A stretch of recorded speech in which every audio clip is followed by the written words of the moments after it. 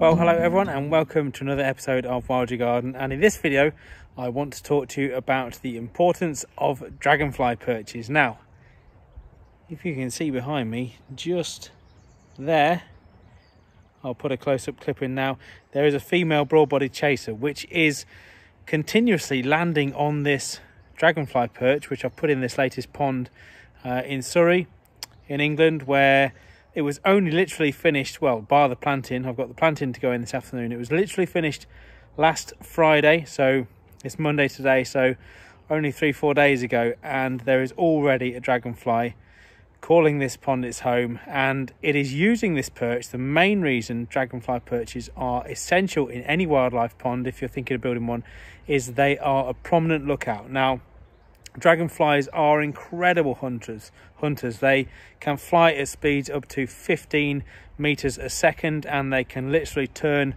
on a sixpence and uh, head in the opposite direction. They are incredibly versatile and very agile flyers, and they are wonderful at uh, looking for and spotting prey, and of course catching it on the wing, where they have this quite gruesome habit of flying up behind an insect, grabbing it with their uh, their feet and holding it in like a cage almost while they either decapitate it or eat it on the wing. So yeah, they really are a ferocious predator and the absolute king of any pond.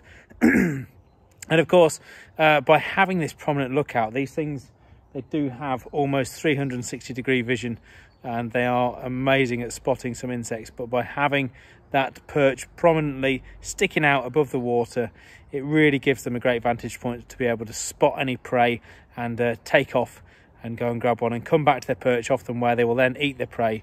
Uh, so it really is a great way of watching these incredible acrobats at work and watching how they continue to uh, feed themselves on the wing and um, make the most of these dragonfly perches. Now, if you've been watching some of the ponds I've done over the years and you've been following what I do on Twitter, Instagram, YouTube, you will know just how many of these ponds I install. And this is pond number 98. I've nearly installed 100 wildlife ponds now in my wildlife landscaping career. And so two ponds time, I will be sure to do you an update and a video on me installing my 100th wildlife pond around the UK, which is, uh, yeah, something I'm really, really looking forward to. So keep an eye out for that one.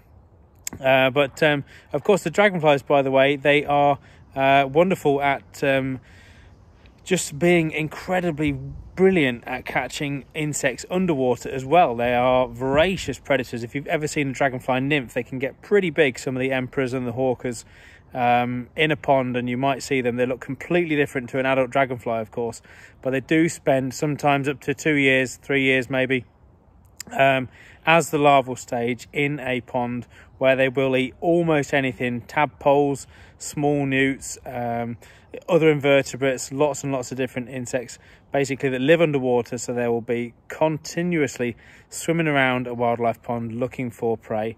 And they have these kind of extendable mandibles which they can shoot out to grab the prey and then bring it back to them un underwater. So these guys really are the king of the pond. So it's absolutely brilliant to see uh, this female broad-bodied chaser moving into this new habitat just as soon as it has been created. You can see now the pond behind me is a really decent size. It's about uh, six meters by four and a half meters. We've got another dragonfly perch over there. Oh, it's just took off. Uh, no doubt to go and get some more insects and then come back. So it's been landing on this perch and the one that I've got just in here, which uh, the customer actually found themselves in the garden, which is great. Always nice to reuse what's in the garden. So it's a really decent sized pond this, and it will be fantastic.